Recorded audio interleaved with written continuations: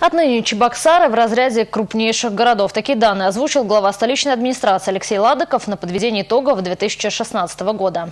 За два предыдущих года население выросло на 16 тысяч человек и достигло отметки в полмиллиона.